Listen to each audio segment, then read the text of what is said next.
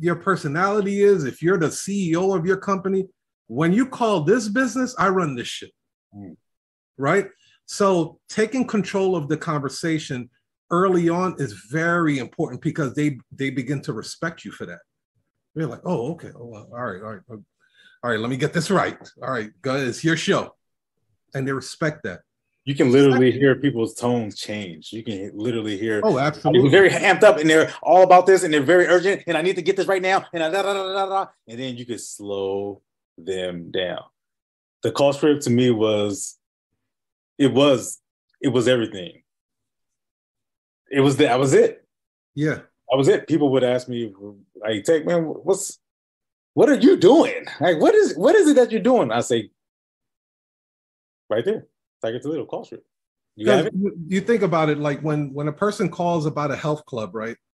They probably saw a commercial or something, and they was like, uh, you know, they they already put it off for years why they couldn't even go into the health club, but now they're going to call you. So your job on that phone is to get them to get off their ass, get in the car, get on a bus, get on a train, whatever, come down to the health club so you could give them a tour, show them why they need to work out, and then close them on a deal.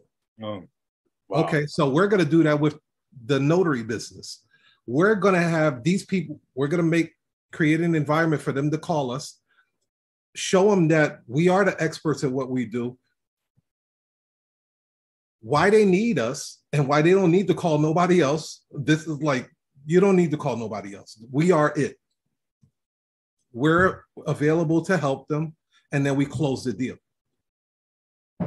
When they call us, see the call script is designed like if you look at the call script is designed to pull out invisible profits mm. so most notaries that will pick up a phone call unless they have a sales or marketing background they will leave a lot of money on the table See, this, but this is sorry i'm not no, no, keep going. this, this is what i'm saying right here because yeah. i'll tell people listen you, you got a call script they're like no get one then they'll say come up with a hundred different reasons why I, I, know how to answer the phone. Okay, great. Oh, I know how to interact with customers. Okay, uh, great. I know how to engage with clients. Okay, uh, great. I know how to talk to lawyers and great. Okay, great. I know how to talk to nursing homes. I know how to talk to tow facilities. I know how to talk to women's shelters. They can they.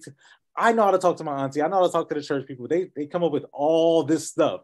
But what yeah. you just said right there is designed to pull out profits for you. That's yeah. so.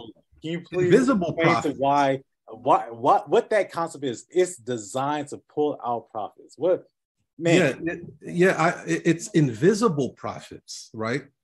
So the invisible profits would be a person saying that um, okay they're getting a, a power of attorney and then you'd be like well in the state of illinois it's required that you have a you get a third party witness that is non-related not married into the family.